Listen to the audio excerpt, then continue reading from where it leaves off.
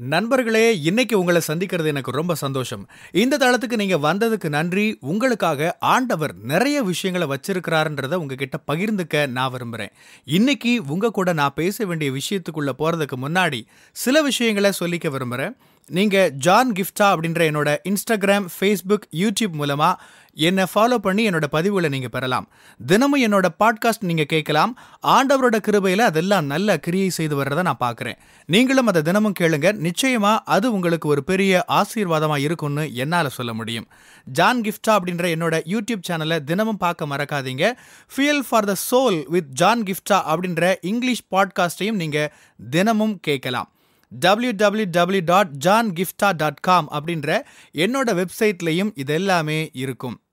நான் ஆண்டவருக்கு சாட்சியா இருக்க விரும்புறேன். அவருடைய ராஜ்யத்துக்கு பயன்படுத்தப்படுகிற ஒரு பாத்திரமா இருக்க விரும்புறேன். சரியானதை மட்டுமே செய்யறதுக்கு விரும்புறேன். ஒரு நேர்மையான நல்ல மனுஷனா இருக்க விரும்புறேன். என் வாழ்க்கையின் மூலமா ஆண்டவருக்கு மகிமையை கொண்டு வர விரும்புறேன். ஆனா எப்பவுமே நான் எதிர்பக்கத்துல தான் நிக்கிறேன். என்கிட்ட ஏதோ தப்பு இருக்குன்னு மக்கள் நினைக்கிற மாதிரி ஆகிருது. நடக்கிறதெல்லாம் பார்த்தா நான் ஏதோ மோசமானவ மாதிரி தெரியுது. நான் ஏதோ தவறு செஞ்சிட்ட மாதிரி தெரியுது. ஜனங்கள் என்ன தப்பா நினைக்கிறாங்க? எனக்கு என்னோட நிலைமையை விவரிக்க வாய்ப்பே கொடுக்காம அவங்க என்னை பத்தி தப்பான முடிவுக்கு வர்றாங்க. நான் எப்படி அவங்களுக்கெல்லாம் பிரசங்கிக்க முடியும்? அவங்களுக்கெல்லாம் நான் எப்படி சாட்சியா இருக்க முடியும்? நான் எப்படி அவங்களுக்கு ஒரு ஆசீர்வாதத்தின் வாய்க்காலா இருக்க முடியும்? இப்படி யோசிச்சிருக்கிறீங்களா? ஒரு வேத பகுதியை உங்க முன்னாடி வச்சுட்டு இதை தொடர்ந்து பேச நான் விரும்புறேன். அப்போஸ்தலருடைய நடவடிக்கைகள் இருபத்தி எட்டாம் அதிகாரத்துல அது இருக்குது. அப்போஸ்தலனாகிய பவுலும் அவரோட கூட இருந்த கூட்டமும் ஒரு கப்பல்ல ஏறி இருக்கிறாங்க. கடல்ல புயல் வீசி மெலிதா தீவுல அவங்க கரை சேர்றாங்க. அங்க என்ன நடந்துச்சு? அந்த புயல் வர்றதுக்கு முன்னாடியே கூட அப்போஸ்தலனாகிய பவுல் அவர்களுக்கு ஆண்டவர்கிட்ட இருந்து பெற்று அறிவுரைகள் சொன்னார். நாம தொடர்ந்து போனா நமக்கு ஆபத்து நம்ம இங்க இருப்போம். தொடர்ந்து போக வேணாம். போனா நல்லது இல்லைன்னு அவர் ஆவியில உணர்ந்தாரு. ஆனா அங்க அவருக்கு செவி கொடுக்கல. அவருக்கு அவங்க கீழ்ப்படியலை. தெய்வீக ஆலோசனைகளுக்கு கீழ்ப்படியல. அதனால அவங்க மட்டுமில்ல நாய பவுலும் கூட பாதிக்கப்படுறாரு. அப்படி பாதிக்கப்பட்டு தான் கடைசியில மெலிதா தீவில் அவங்க கரை சேர்ந்தாங்க. அப்போஸ்தலனாகிய பவுல் சொன்னதுக்கு அவங்க கீழ்ப்படியாததுனால தான் அவங்க அந்த மெலிதா தீவுக்கு வர வேண்டியதாயிருச்சு. ஆனா என்ன நடந்தது? அப்போஸ்தலனாகிய பவுல் உட்பட அவங்க எல்லாரும் அங்க போய் சேர்ந்தாங்க. மூணாம் வசனம் இப்படி சொல்லுது. பவுல் சில விறகுகளை வாரி அந்த நெருப்பின் மேல் போடுகையில் ஒரு விரியன் பாம்பு அனல் உரைத்து புறப்பட்டு அவனுடைய கையை கவிக்கொண்டது நாலாம் வசனம் விஷப்பூச்சி அவன் கையிலே தொங்குகிறதை அந்நியராகி அந்த தீவார் கண்டபோது இந்த மனுஷன் கொலை பாதகன் இதற்கு சந்தேகமில்லை. இவன் சமுத்திரத்துக்கு தப்பி வந்தும் பழியானது இவனை பிழைக்க ஒட்டவில்லை என்று தங்களுக்குள்ளே சொல்லிக் கொண்டார்கள் அவங்களே ஒரு முடிவுக்கு வந்தாங்க. பவுல் ஒரு கொலைகாரன்னு அவங்க முடிவு பண்ணாங்க. கடல்ல இருந்தும் அவன் தப்பிச்சிட்டான்ல? அதான் அவனுக்கு இங்க தண்டனை கிடைக்குது. பாருங்க பழி சும்மா விடுமா? அவன் சாக போறான். அப்படின்னு அந்த தீவுல இருந்த ஜனங்கள் பவுலை பத்தி பேசிக்கிட்டாங்க.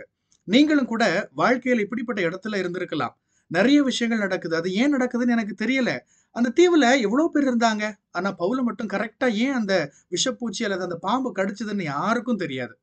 நீங்க கூட சொல்லலாம். இவ்வளவு பேர் இருக்கிறாங்க. ஆனா நான் மட்டும் ஏன் பிரச்சனையில மாட்டிக்கிறேன்? நான் தான் இருக்கிறதுலயே மோசமானவன்ற மாதிரி ஜனங்க பேசுறாங்களே. எனக்கு இது தேவைதான் அப்படின்ற மாதிரி பேசுறாங்க. அவங்க என்னை பத்தி தவறான ஒரு கருத்தை புரிஞ்சுக்கிறாங்க. ஆனா உண்மையா நான் அப்படி கிடையாது.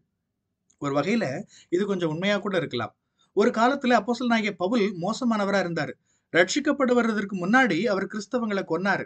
அவர் கொலைக்காரர் தான் அப்படி பார்த்தா ஒரு வகையில அவங்க சொன்னது சரிதான். ஆனா அவர் இங்கு தண்டிக்கப்படலை. அவங்க தப்பா தான் சொன்னாங்க. இப்படிதான் ஜனங்கள் ஏதாச்சும் சொல்லுவாங்க. அவங்க சொல்றது நம்மளை காயப்படுத்துற மாதிரி இருக்கும். அவங்க சொல்றது ஒருவேளை கொஞ்சம் உண்மை கலந்து இருக்கலாம் உண்மையாவே உங்ககிட்ட சில எதிர்மறை விஷயங்கள் இருந்திருக்கலாம். குறைகள் இருந்திருக்கலாம். ரட்சிக்கப்படுறதுக்கு முன்னாடி அது உங்ககிட்ட இருந்திருக்கலாம். ஆனா அதை சொன்னா கூட உங்களுக்கு கஷ்டமா இருக்கும். என்ன நடக்குது? என்ன நான் விளக்குறதுக்கு கூட வாய்ப்பு தராம இப்படி பேசுறாங்களே.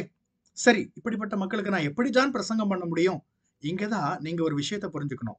ஐந்தாம் வசனத்தை பாருங்க. அவன் அந்த பூச்சியை தீயிலே உதறி போட்டு ஒரு தீங்கும் அடையாதிருந்தான் இப்படி பாருங்க. அற்புதம் இல்லையா?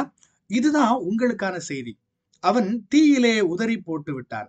பிரச்சனைகள் வருதா? அதை உதறி போட்டுருங்க. அது இன்னொரு செய்தி. ஆனா ஆறாம் வசனம் பாருங்க. அவனுக்கு வீக்கம் கண்டு அல்லது அவன் சடுதியாய் விழுந்து சாவான் என்று அவர்கள் பார்த்து கொண்டிருந்தார்கள். நெடுநேரமாய் பார்த்து கொண்டிருந்தும் ஒரு சேதமும் அவனுக்கு வராததை கண்டபோது வேறு சிந்தையாகி இவன் தேவன் என்று சொல்லி கொண்டார்கள்.